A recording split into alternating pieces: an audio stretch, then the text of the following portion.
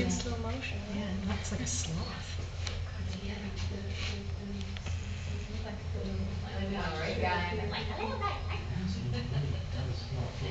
There is a copper's door frame on there, you can see that's perfect view.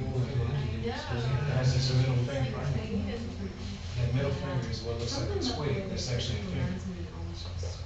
You can see them.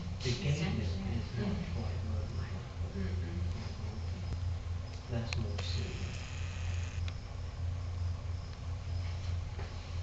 Coco, is that the name of the, the aye-aye that was born here? I think I remember yeah, I don't know. my aye-aye birth when the baby was named Coco, but I don't know if it was the first one ever. Yeah, I don't know. Any questions about the aye-aye? You said the aye-aye had incisors, so what's the defining characteristic of Thank you.